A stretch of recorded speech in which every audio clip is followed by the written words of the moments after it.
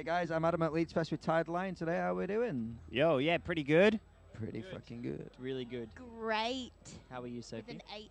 I'm gonna one up that. What's better than good and great? Excellent, fine, Oh, lovely. Winning. phenomenal. Aye. We're doing all right. How are you? I'm very well, thanks. It's been a long fucking day, but we- we've got here eventually. it sounds like you guys have had a worse day than what we've had, but we're here at last.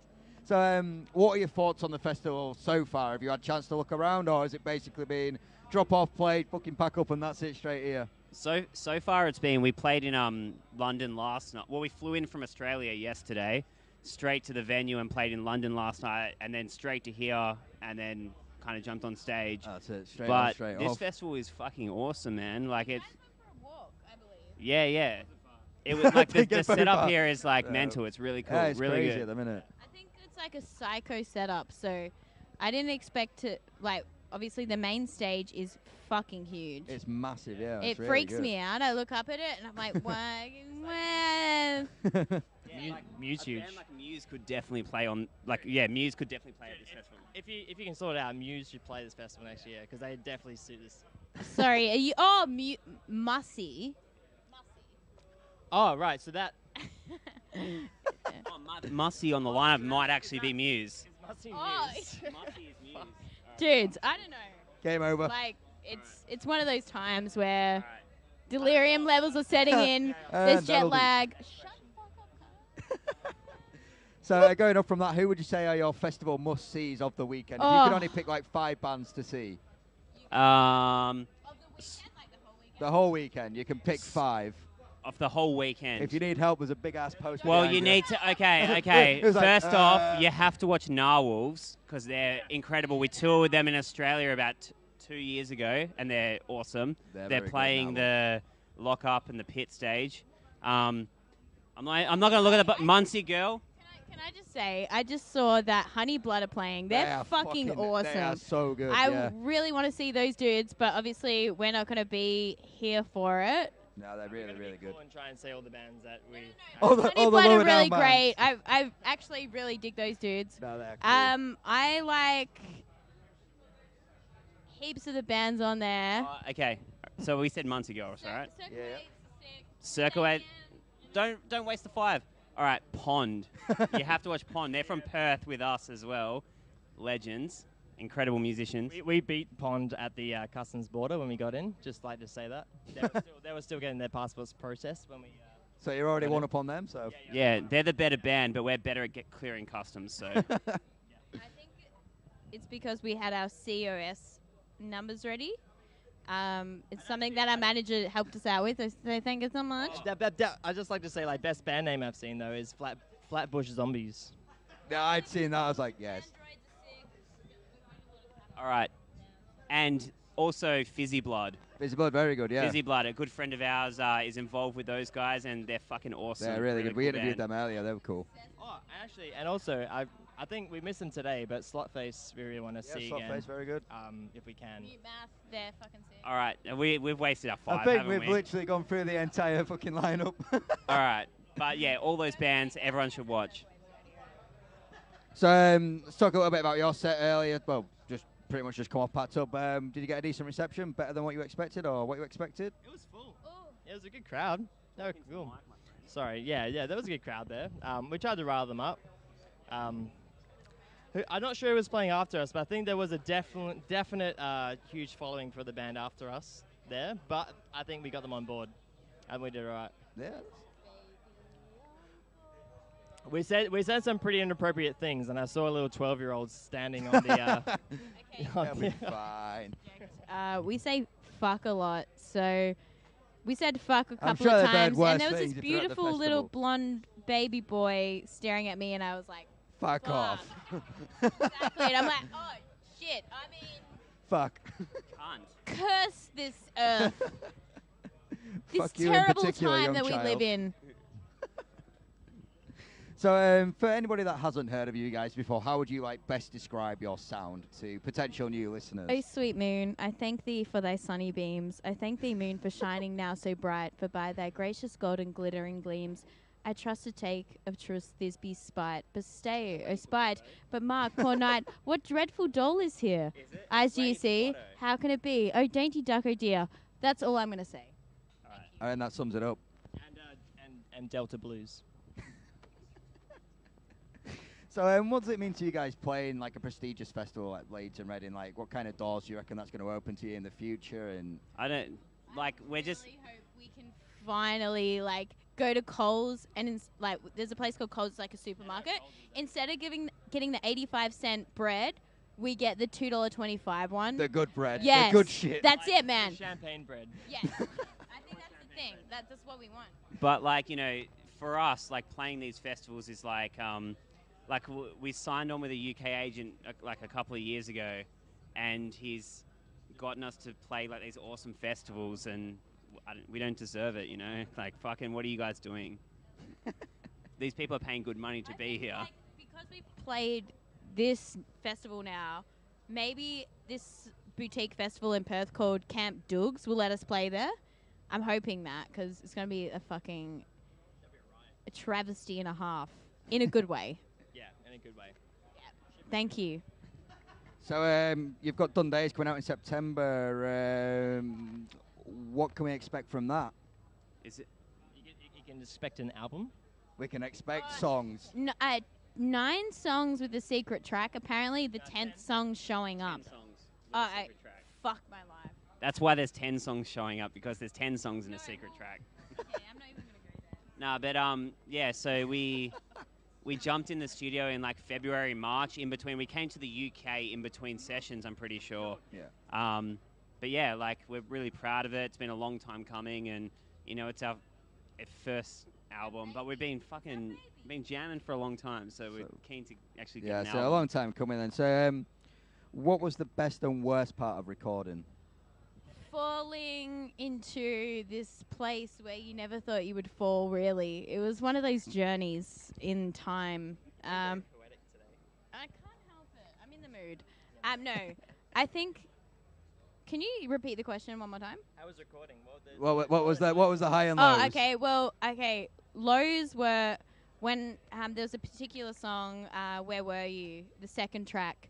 And the ending is really fucking hard to sing so i think i got i started seeing like these black circles and i was pushing it really hard and i'm like i can't do it i feel sick i need to vomit i, I don't know what i'm doing that was hard for me um, So we just added a guitar solo there because that was really easy. fuck off. yeah well you're a shred lord so it makes sense um, that was one of the low points for me because I was like, oh fuck, I have to push through. But then, in turn, it became a high point because I pushed through and I did it. High was point was- of, uh, sorry. Is, is Uh, like a couple of blunts after the the recording sessions, you know. KFC. KFC. What's your? Say it. That was my low point. The amount of KFC that was. True. Oh yeah. Um, I don't know. I had, had no high or low points. I just a it was- steady medium. it's a very mediocre album. Don't buy it. it's three stars on iTunes. Rate it now. Dude, is your, is your favorite color beige? Nah, dark. I mean, no, no, no, wait. That's not color. That's a. I have a high point. Uh, can I talk about it? Okay, so high point was not when we were high, but when our engineer Dave Parkin told us that the most comfortable he's ever felt in his life was when he crashed his scooter and he was laying on top of it and the like the exhaust pipe was there and it was kind of burning his leg a little and he had this comfortability about it and he sort of took a real deep breath in and out and he's like man i know what life is about i know what living is about and we made this thing called the scooter comfort zone and that is the high point i think for all of us I think everybody's in search for their scooter comfort zone. and I think we were originally really pushing towards calling the record Scooter Comfort Zone. Label didn't like it. They fu- Record labels. Fuck 'em. They're the best. they are. They're actually awesome. They are actually really cool. But fucking yeah. Scooter Comfort Zone. Is this the bonus track? Yeah. it is now. So, what would you say like influences at the moment, and is there anything that you want to experiment with musically wise? Oh.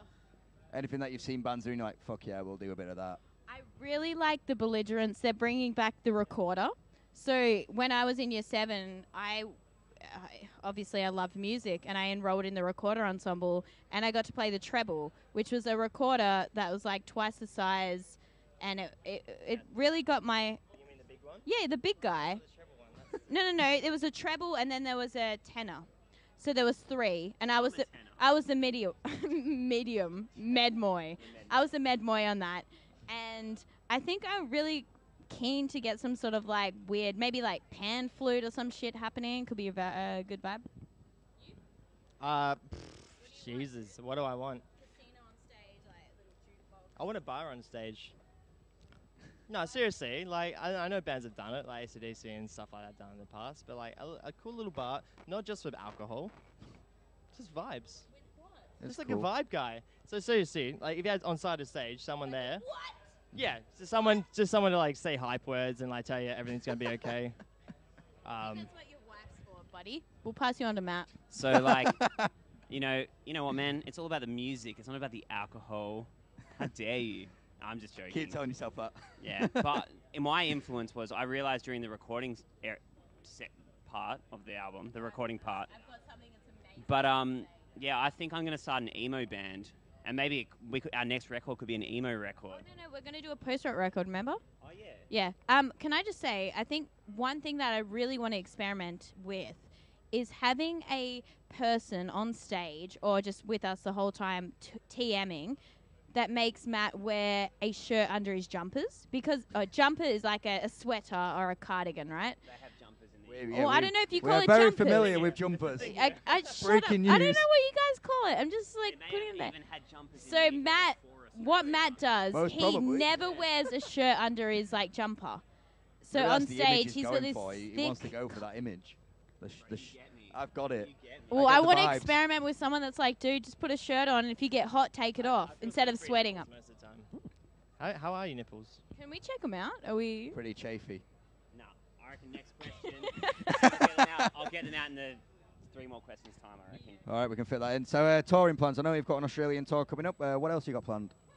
Or is it literally just the Australian tour? it's literally that. Then we're calling it quits. I think. I think Nah. that is best for everybody. I kind of like start. Um, Yeah, we've got we've got a an album tour coming out in Australia, um, and then I think we're going to make a couple more trips back here. This is our third in the last six months, Awesome. so you know, fucking get used to us. but um, I think we'll, yeah, I think we'll come after we've toured the album in Australia and done that type of thing. We'll try and get back out here again. awesome. So, I'm um, going back to touring, playing shows. Uh, what's the most embarrassing thing that's happened to you at a tour or at a festival besides getting your nipples checked out in one question time? Oh, can I can I can I lead that one for a second? Because like this is this is this is my this is my unfortunate little thing that I do. Oh. This is the dirt. Okay, so after a few, I tend to sleepwalk, Oh. and when I sleepwalk, I tend to uh, relieve myself with urination. Not the other one. I'm one. glad you fucking put that in there. oh, okay. So- you're, you're on a separate tour bus from the future. I feel like that's definitely that's, that's definitely an embarrassing point of my my person personal sort of. Uh, we accept it. It's fine. We all have our embarrassing things. What can I ask a quick question of Nick? So you know, your most embarrassing thing on tour is um, sleepwalking and pissing. What are the what What are the top three things that you've enjoyed pissing on while sleepwalking? Oh, uh, laptops, in order, the luggage, top- Whose laptop? Sophie's laptop, Matt's luggage, uh, and then I don't know what else. What is there another one? I my favorite thing that Nick's pissed on is um I um so yeah, my luggage wasn't my favorite thing. That was Oh, the worst thing. I thing. can imagine that's right That was in the worst thing because I had no more clothes for tour. That's why you don't wear shirts. yeah, that's why I don't wear shirts. Can I just say, at least it wasn't electronics, all right? Oh. My favorite thing is um uh, can I yeah, Nick's wife lent me a pedal board. Right. Um, and I was like sussing out before I was going to buy it, and then on the tour that she was lending it to me, he fucking pissed on it. and then afterwards, I was like, "Oh, I'll buy your pedal board," and she's like, "Yeah, here, this is how much." And I'm just like, "Hmm, no. what? How much of a discount can I get?" But Ethan was like, "Call it a piss count." well, how much of a piss count can you get? But you know, I just couldn't. I couldn't follow through because it's a disease, and that's hell sad. So. So, um, what advice would We you give you, to smaller bands that maybe want to get to this level? You know, where you're playing festivals, you're coming all over the world at the minute, playing shows. like how to get to your level at what you are at the minute. I think it's super important to firstly put out of your mind like this um, sort of like stepping stone thing where you're really forcing yourself and putting yourself down because you might not be at that level yet. It's super important just to like keep having fun, just doing what you're doing, and eventually I reckon it will happen if you just show the hard work and stuff like that. So Yeah, Stay true to what you do and be professional, but don't let people take advantage of you for exposure. When anyone starts saying do it for exposure, Yeah, can tell don't. get Yeah, fucked. yeah, don't go for that. you just like show them your nips, right, Matt? Oh, Was Oh, this the three- question? That's three Here we go. There it is. I haven't cut. I sometimes trim the hair around my nipple with toenail scissors. Wait, And I haven't done that recently. Oh, nice. There it is. That was a big moment. That was that was the big reveal. And finally, do you have any messages for anybody watching back at home? oh, this is going back oh home. Fuck. Hopefully, Is it which home? Is it our home? Uh, I've, we've, we've got a few bands in Australia that we work with, so I'm sure they'll probably see Okay, it. so if it's home, I'm just gonna say, fuck. Met these dudes a couple of years ago. Weirdly enough, we're in the UK right now for the third, uh, fourth, fifth time ever. Didn't think we'd be here, and I guess you can rely on your family at home for the support and being there all the time and giving you that little bit of a push in the right direction. So thanks. Love you. Oh, I mean, I'd like to say thanks to everyone back home. Matt, are you gonna propose? Are you gonna Yeah. propose right now to your girlfriend? I reckon let's just do it. Fuck it. I can't do it. She's in India. She's actually not in Australia, so I. She might may not see this. do it and we'll post it to her. right here. Yeah, we'll do it. We'll put it up. You can you can just tag her in it when we put it up. Guys, you're cheapening this experience This- for me.